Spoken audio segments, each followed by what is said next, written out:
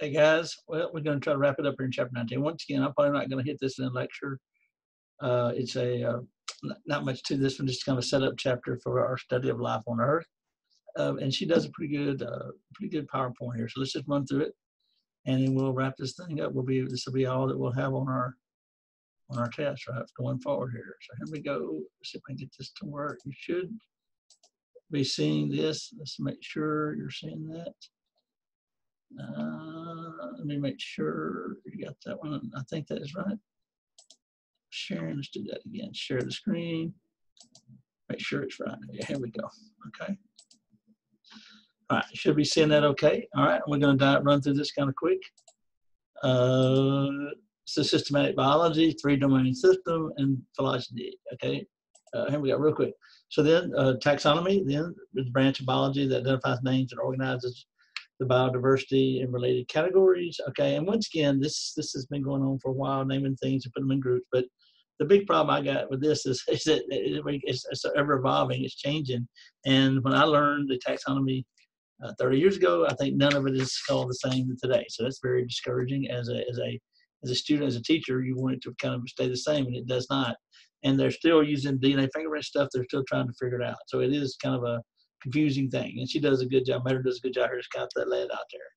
Uh, naming different organisms began with the Greeks and Romans. Aristotle classified organisms groups such as horses, birds, and oats. Uh, Middle Ages organisms were then described using Latin names. Okay, if you remember us talking about the different organisms, right? Archaeo, regular bacteria, plants, fungi, animals, uh, invertebrates, and vertebrates.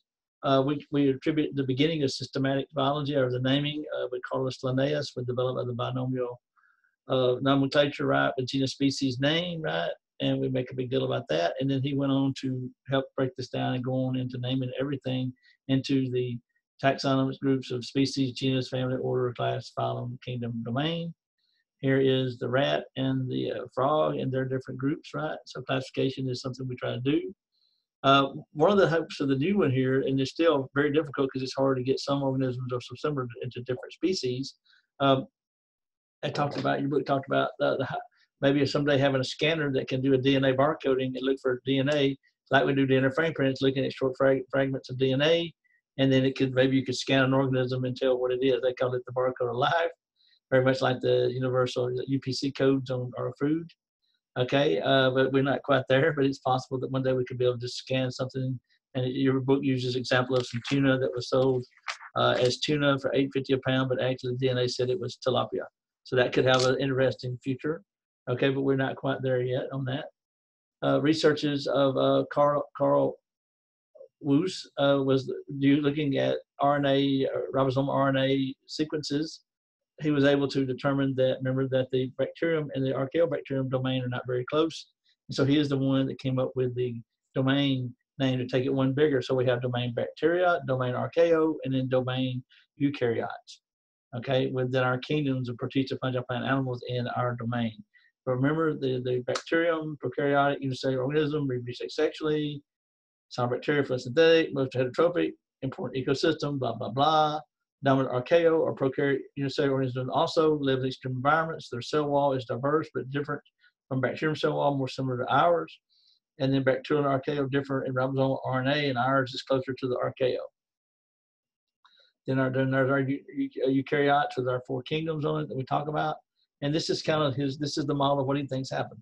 That common ancestor led to the bacterium and the archaeobacteria, and we branched off, the eukaryotes branched off of the archaeo, with the mitochondria coming in first in the endosymbiotic, and then the chloroplast later, leading to the plants, protistas, fungi, animal, and protistas.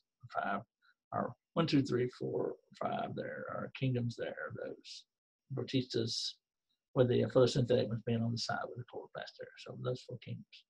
Here's some more showing some distinctions of these, right? Bacterium, archaeo, and eukaryote, uh, unicellular. They're both eukaryote. We're multicellular, right?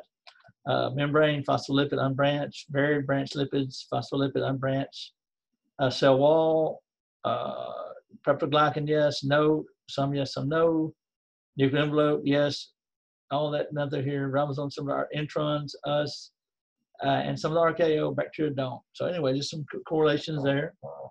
So systematic biology is a quantitative science that compares traits of living and fossil organisms to infer to infer relations over time.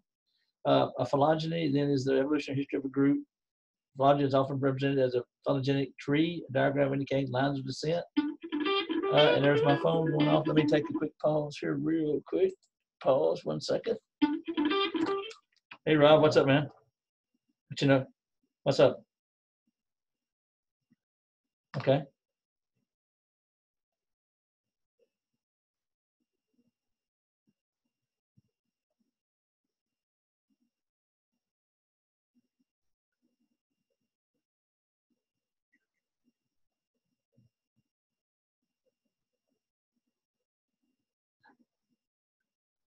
Well, I'll tell you what we can do. Hey, hey, uh, if you don't mind, uh, uh, this is what I've been. I did on the first floor.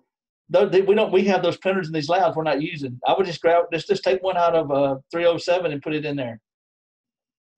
No, I mean they never never print anything in lecture in lab because you know when we get the computers out, we do an online homework, but we don't. I mean they never. I bet they had 100 sheets printed on them. So I've already I had replaced one of them uh, before, you know, or at least I I have I did the the ink cartridge, but there's no reason not to take those out of one of those labs that they haven't never been used.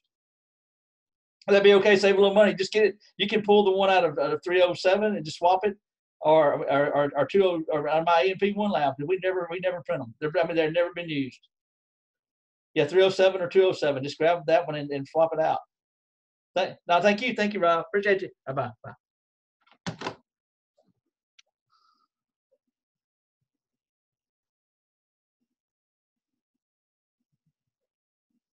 Okay, I think I may have paused the screen sharing and not the video in here. Sorry about that. Are we still videoing?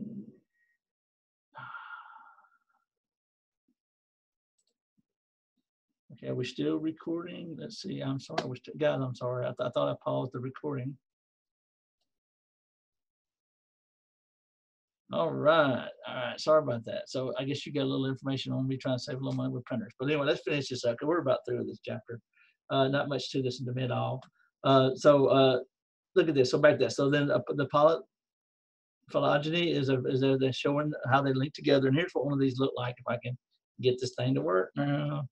Okay. And here's two terms that they, they use in this putting together these, these graphs showing that. An ancestral trait is one present in all members of a group and present in the common ancestor. And it's not useful in determining evolutionary relationship because everybody has it. A derived trait is present in some members of the group but absent in the common ancestor. And these are the ones that are used to classify uh, according to this evolutionary relationship. For example, here we have all mammals have mammary glands, as you can see right here. That's cool. Even toed hooves falls you over into this group, and then you have the deer and then cattle, cattle, and then shows the horns. Okay, Another trait was opposable thumb that we share with the monkeys and the apes in the shoulder in the shoulder rotation here. So these are all traits that are down the line from the common ancestor that can be used to make these trees. And from that, we can make uh, an assumption of these different, of the class, order, family of each of these and the, and the divisions of those organisms. Uh, cladistics is a method that uses shared derived traits to develop a hypothesis of evolutionary history in the ground. There's a graph also showing that. So a cloud then is a cloud or cloud, whatever it is, an evolutionary branch that includes all of it. And here's one showing that. You can take these traits here, mammary glands, hair, gizzards, epidermal scales, amniotic fluid, eggs, four limbs, vertebrates, and everybody had that notochord in the embryo. And from that, you can piece together an evolutionary tree here of the difference between the terrier, the finch, crocodile, lizards, frogs, tuna, and lancelet, and the chimpanzee in this color ground. Okay pretty cool. Uh, other ones, uh, fossil records here, another couple fossils can be looked at here. Homologs refer to structures that from stem from a common ancestor. Analogs are structures that are not common are from a common ancestor but have the same purpose. And that remember, so that would be like the wings of a of a bird and the wings on an insect. They are not connected as a homolog. They're analogs because they're examples of convergent evolution, where two organisms develop wings for flight and they're no longer, they're not at all kin to each other. Okay, so analog structures have the same function in different groups, but do not have common ancestor. Homologs have a common ancestor. Uh, here's some uh, ancestral angiosperm. Okay, uh, other things can be looked at: behavioral traits, uh, molecular traits. Systematic, you know, looks at that. Systematics assumes you know, that blah, blah, blah. Here's looking at DNA sequencing to compare and to put together this molecular data showing who's kin to who based on uh, the, the, the molecular data collected. Once again, not a big chapter of mine, not a favorite thing of mine because it keeps changing, but it is a pretty good introduction. Sorry about the phone call in that, but y'all can live with that. Sorry about that. I thought I had paused it. I paused the sharing. So y'all got to hear me talk on the phone about something. So anyway, not much here. Y'all have a good day. Very few, just to answer the questions. Very few of this, very little of this will be on our final, I would suspect. All right. Y'all have a good day. I'm to stop this.